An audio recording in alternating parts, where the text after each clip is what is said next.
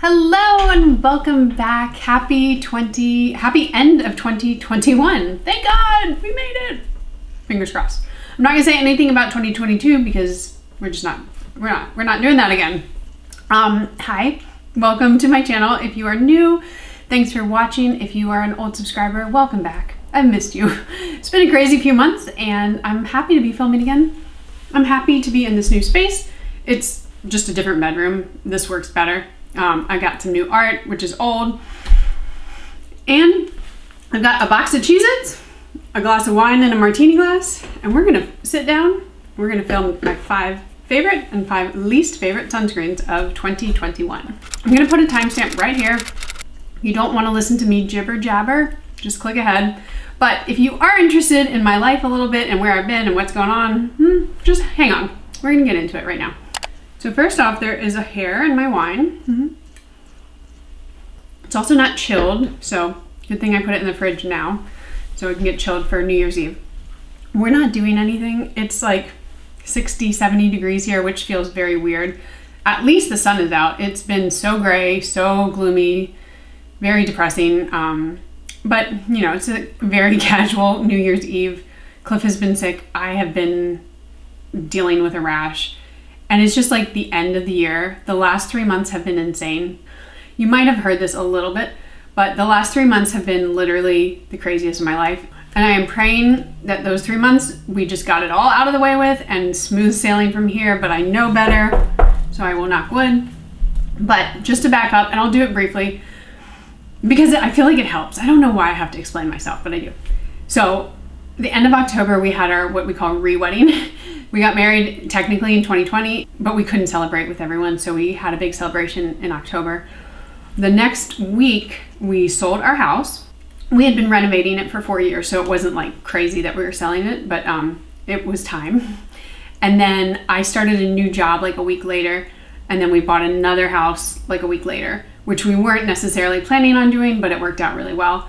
Um, so that was crazy. And then about a month or so, I had of just like blinders on, trying to focus, get my job, like understand it, and it was it's a very demanding job, more so than my last job. So I just didn't really have a lot of time for YouTube or anything. And then the holidays came, and right when I was like, oh, we're gonna have some time, like I'm gonna be able to take off work from work. I got a severe case of poison sumac, or like I was exposed to it, and I my my skin is not sensitive on my face, but my body is a different story. I had a rash all over. I couldn't sleep. I was itching. Like it's not like it's not like mosquito bite. If you've ever gotten a bad like poison ivy or poison sumac or something, it's like from the inside out and you have no relief and you're just like twitching. It's it's terrible. I was on prednisone, which is a steroid. That made me kind of crazy because I was on such a high dose and it still wasn't working. And then I had two shots in my buttocks of more steroids and at that point, I like picked up a baseball bat and thought I was going to kill Cliff, like roid rage for real. I had topical steroids; they were not doing anything. And then I finally got some relief from um, what's called clobetasol, which is like the strongest topical steroid, which is crazy. Like I would have done that all along had I known it would work the best. Anyway, two and a half weeks of that, and I'm just now better. Like as of Monday, Tuesday, and today is Friday. So that's where I've been. I know it's crazy. Um, and I hope that it's beyond me and I will get into life again. But thank you again for watching. If you have watched throughout this year or anytime this year, it really does help. I love this stuff so much. I, I was gonna give it up actually, like about a week, two weeks ago. I was like, don't have time. I, I just can't do YouTube anymore. And I figured out my space in here the lighting is still like a work in progress, all that. But I love it so much that I did not want to stop and I don't want to stop. So I do appreciate you watching and just know from from deep down in my heart, I appreciate you. So if you are just coming back, you didn't want to hear all that jibber jabber, let's get into it. If you did listen, thank you again and let's go. Top five. I'm not going to do them in any particular order because it was hard enough to get five that I love. I mean, like, I have way more than five. I'm trying to say, like, it was hard enough to narrow them down. So putting them in like one, two, three, four, no, can't happen, not gonna happen. but let's start with what is in front of me. Some of them I do not have because I used them, which is obviously a good sign, and I have usually featured them in like an empty video. I will link everything below and I will also put a picture so you can see what I'm talking about. But first one that I have on hand is the Live Tinted Hue Guard. This is pretty much done. I think I saved like a pump or two just so I could show you in this video. And this is a, oh, whoa. This is a mineral sunscreen.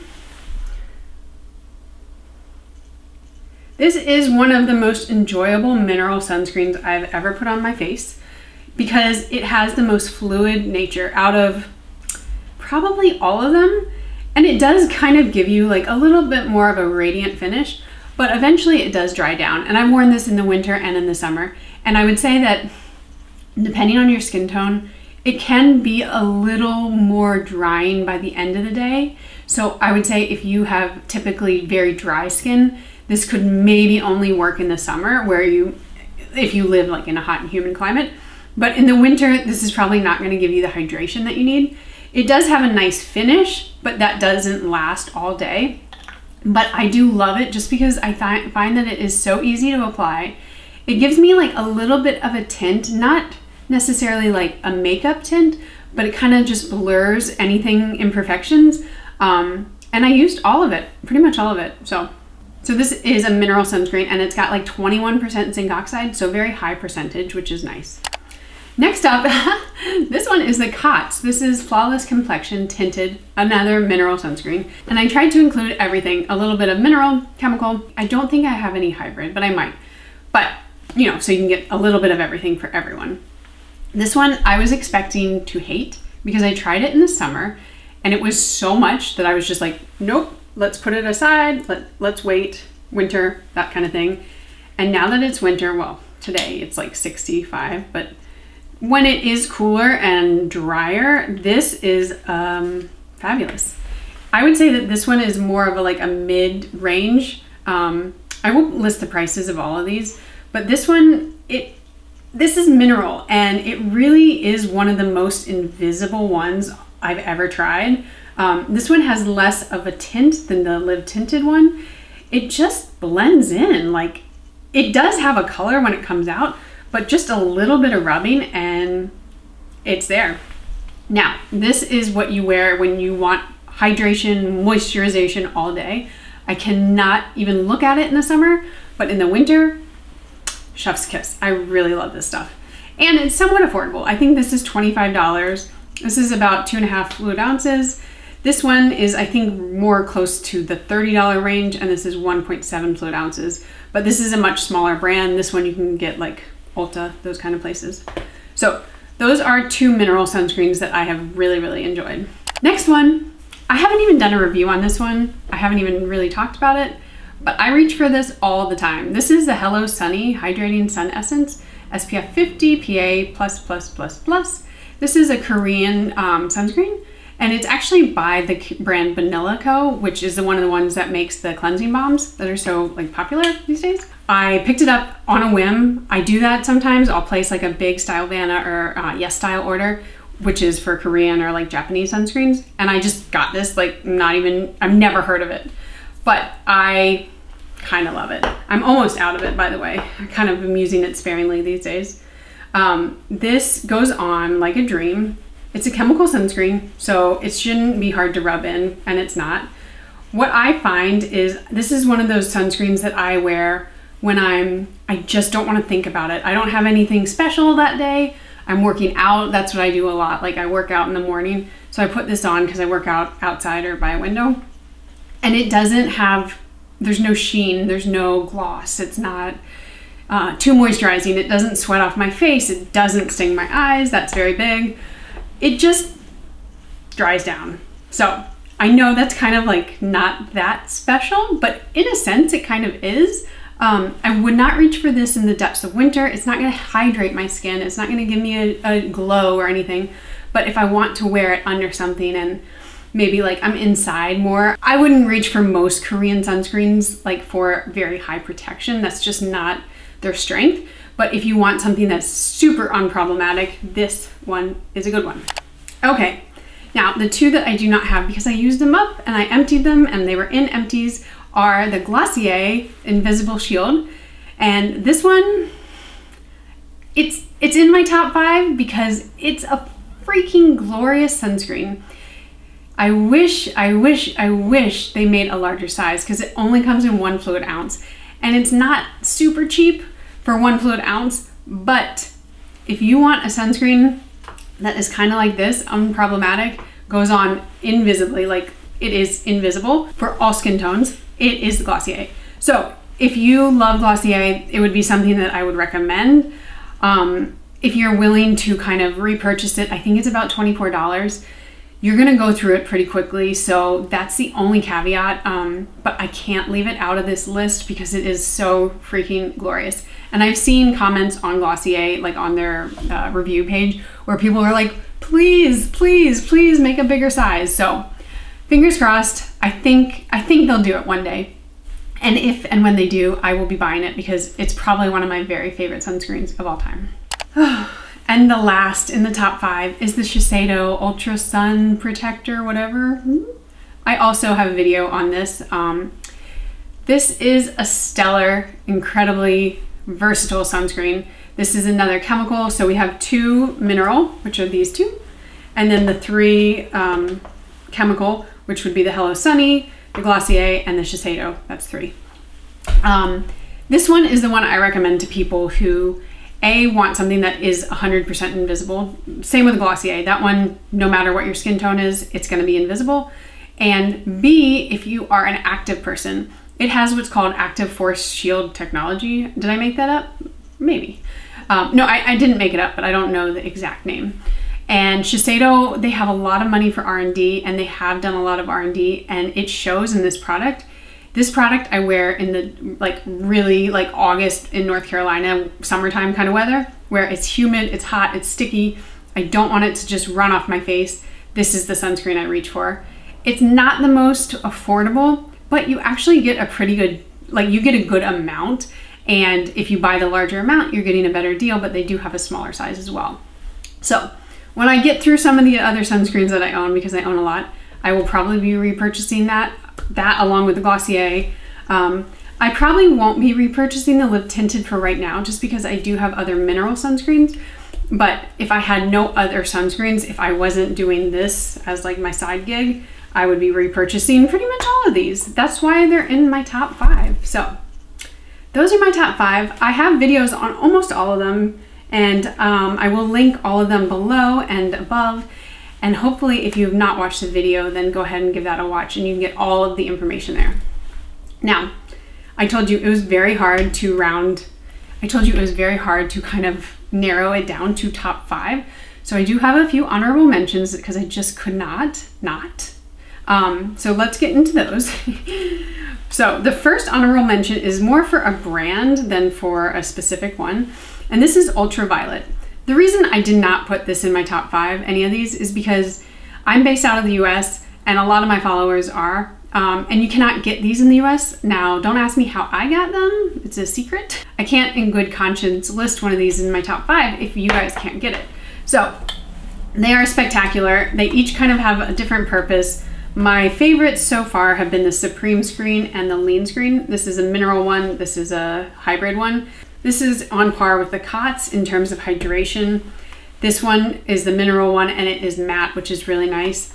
I haven't really figured out the clean screen. Like to me, it doesn't, it's mineral also. So I, I can't tell the difference. Like I guess it's less matte than the lean screen.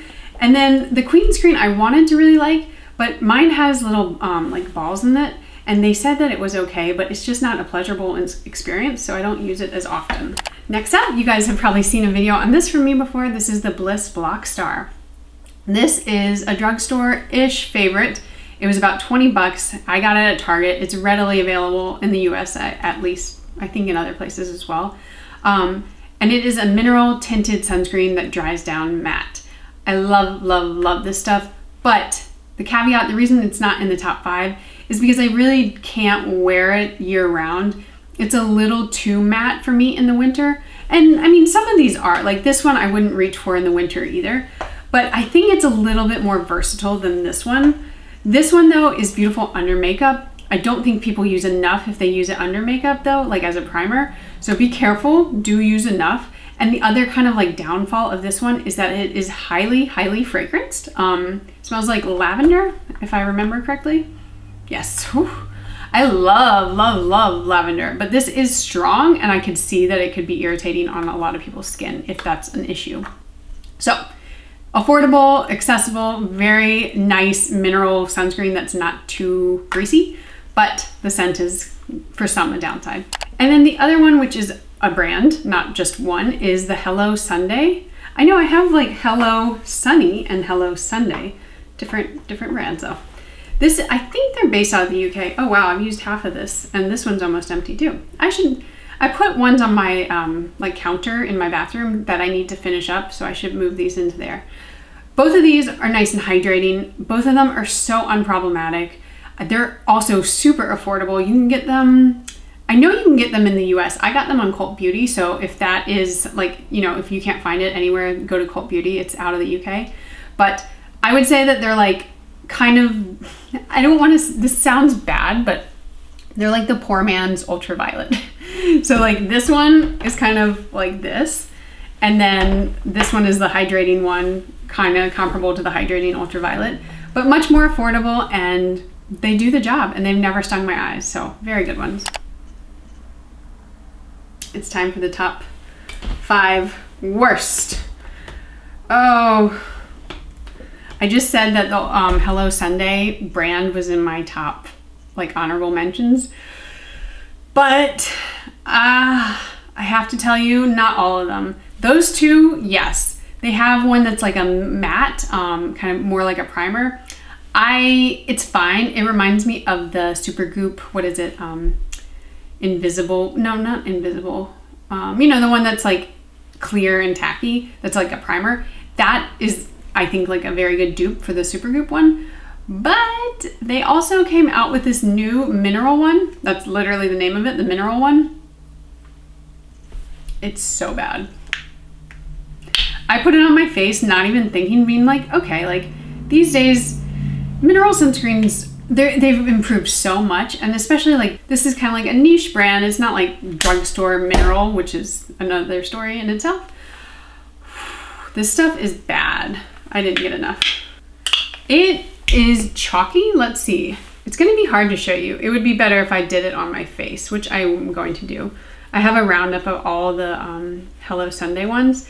And this, in this light, it's not doing it justice. But this color, whew, do you see that? What is this color? Um, it's like purple ash. It's just the least flattering color. I don't know who that color would work for. It definitely doesn't work for me. And even when you blend it out, and again, I will do a roundup of that brand soon so you'll see it applied to my face, but just steer away. I have many other mineral sunscreens that work much better than this, so sadly, that was a big fail. I should have gotten an ice cube. I don't have any ice cubes though. My fridge doesn't have room for ice because we have so much stuff in it. It's called a first world problem.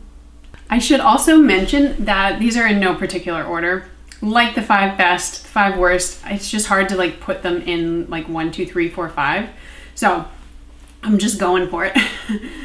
the next one, this is the Dr. Dennis Gross, what is it called? All Physical Lightweight Wrinkle Defense Broad Spectrum SPF 30. This one, it's not terrible. And I have a full video on like the most expensive high-end, I think they're mostly mineral, but not all sunscreens. And this is in that roundup. And it's the one that I reach for. Whoa, it's making some noise. It's the one that I reach for the least. Um, and it's not a terrible sunscreen. It really isn't. You do see a white cast though. Um, it's not invisible. But I find that for the amount of money that it costs, out of those ones that I reviewed, this is the one that I would say like, eh, pass. Get either the Murad or this one, the Dr. Brandt Liquid Sun Shield. This one, those two, I just find them to be much easier to apply. Um, this is a lot of money for a sunscreen that is only going to work on the fairest of skin tones or under makeup. I just don't think that it's worth the money. I've used so little of it. If anyone wants it, I'll give it to you. um, but yeah, I can't say that it's like god awful, the worst. Luckily, I've actually reviewed some pretty good sunscreens this year, but for the money, just not worth it. Okay, this one really surprised me. This is the Anessa Ultimate Beauty Sunscreen Outstanding UV Protection Radiant Skin Begins Today! oh, that's not even the name. It's Perfect UV Sunscreen Skincare Milk. SPF 50 plus, PA plus plus plus. Anessa is made in Japan, owned by Shiseido. I've used quite a bit of this. It goes on very easily, very smoothly. It is a chemical sunscreen, so as it should. Very lightweight um, blends in, you know, no issues there. But my issue with it is, and it doesn't really say, because it says it's a milk, but this thing kind of dries my skin out. And some of the more lightweight, like very fluid, uh, I guess Shiseido Japanese sunscreens, not like Shiseido in name, but like either the Anessa or the Senka one, they tend to have a little bit too much alcohol content, I think, in my opinion, for my skin. And I find that by the end of the day, my skin feels like too, it's like powdery, but not in a good way. So if you do have more oily skin, this could be a very nice one for you. I think it's a little overpriced for what it is, especially in like the world of Japanese and Korean sunscreens. Um, I just think that you can find other ones. Like this would be a good kind of dupe because this one doesn't have an overall like too dewy finish or anything. It's not gonna like be too matte, too whatever but it does just kind of oddly dry my skin out, which I don't like at all. Ooh, the last two. These two are probably the worst. Now, the first one is the Black Girl Sunscreen Matte. I do not have it. I returned it. I don't return sunscreens often. If you could see how many I have sitting in front of me, you would understand. I like to keep them even if I'm not using them. This kind of video is why I keep them. But that package, like disintegrated in my hands. I used it one or two times and as I each time I used it, the package, like the actual top was disintegrating. Like I could not screw it back on. It was ridiculous. It's only $10. Black Girl sunscreen is great in that sense and it's usually very affordable. It obviously fits all skin tones, which is wonderful. But they need to do some work on the packaging and I know that's not the best reason to not like it, but I actually don't like it because of the actual product as well. So the product is greasy. It's a matte, greasy sunscreen. It doesn't make sense. It's supposed to be like the Supergoop one. I can't think of the name. Why can't I think of it? I'll post it here. But it's not. if you put like maybe like one little dot on each corner of your face, well, whatever, um, then maybe you will get matte. And I know some people do like it, but I found if I put the correct amount on, my face was greasy. And I was like, this is supposed to be a clear matte sunscreen. Like, it's not working. And then on top of that, the bottle disintegrating, I was just like, no, I can't. I really can't. I do love the other Black Girl sunscreens, especially the kids one. That's my favorite out of the three of them. Um, so if you do want an affordable, they are chemical, not an issue for me. But if you do want an affordable one, I would just go ahead and go for the kids sunscreen. And last up, Oh boy, my Supergoop sheer screen.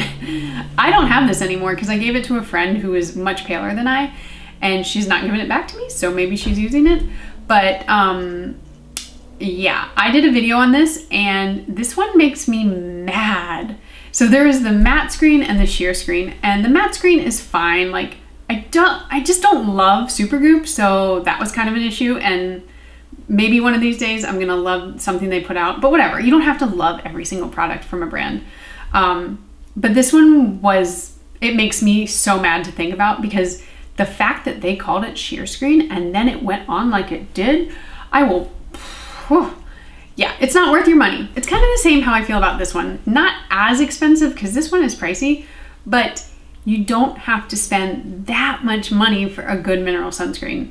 The world is getting so much better about mineral sunscreens these days. As you've seen from some of my videos, there are so many more out there. You just don't need to go for the one that is like the like fanciest all the time. Now, I don't think mineral sunscreens from the drugstore are always the best, but I think there's a happy medium in between. So that's just how it is. I can't, I really have no good words for the sheer screen, so I won't say any. And with that, and a sip of wine, we are done. So guys, I hope this video was informative. I hope that you enjoyed watching any of my videos this year, and I hope I continue to make them into 2022. So thank you so much for watching. I'm gonna keep it, well, this was not brief, but I'm gonna keep the ending brief, and I hope you all enjoy your New Year's Eve. I'm gonna try my hardest to get this up on New Year's Eve, which is today, and because I feel like there are not a lot of YouTube videos up right now, which is fair. But again, Happy New Year's. I hope you all have a wonderful, wonderful time and have a safe and healthy, happy new year. And I will see you in 2022. Bye.